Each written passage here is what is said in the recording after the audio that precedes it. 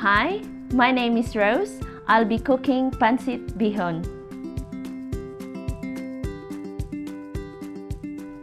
I'm very excited to cook for you this dish at Creation Fest in Cornwall.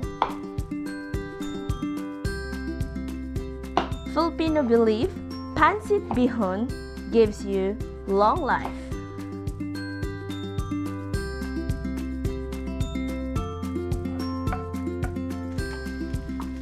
I'm cooking the chicken with onions and the chicken would be ready in 5 minutes. This dish remind me when I was in the project with compassion.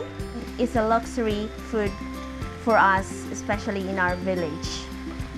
The smell remind me everything. Now I submerge the noodles in a boiling water and you wait until it's softened.